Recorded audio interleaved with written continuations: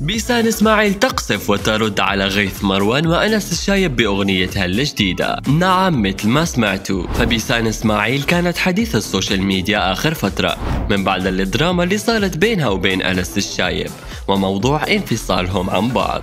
وأيضا بينها وبين غيث مروان وسارة الورع ودراما طردها من عرسهم اللي كانت حديث الكل أنذاك ويبدو أنه الدراما ما زالت متواصلة لحد الآن.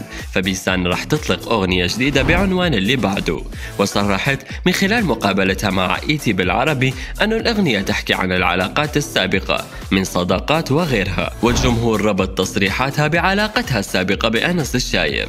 وصرحت أيضا تصريح خطير عن موضوع طردها من عرس غيث مروان وسارة ومجيبة على سؤال المذيعة عن ليش شاركت هالشي على مواقع التواصل الاجتماعي وهل كان بدها دراما ومشاهدات؟ وأجابت بيسان بلا ما تحتاج دراما وإثارة الجدل ووصلت بـ الله يسعدهم ويبعدهم وهذه الجملة كانت موجهة لغيث وسارة عادي أنا إنسانة صريحة. مع متابعيني العالم تعرفني هيك أنا ما بكذب ولا بلف ولا بدور. أنا مو ناقصني trend. No. no.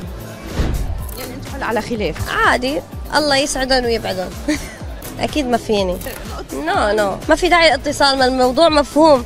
يعني هلا انت قلت لك تعالي كلي قلت لي مو جوعانة بتصل لك بقول لك تعالي كلي مرة ثانية خلص انت مانك جوعانة هن ما بدهم.